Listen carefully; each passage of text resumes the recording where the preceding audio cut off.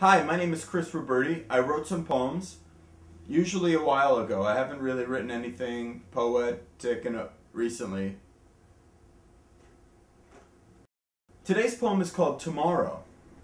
It's a short one, and um, there's art that goes along with it, which is basically just a torn piece of watercolor paper and some painting over it.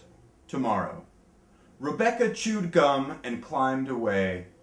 I'm not rich or sick. I'm resting in my room, liking everything.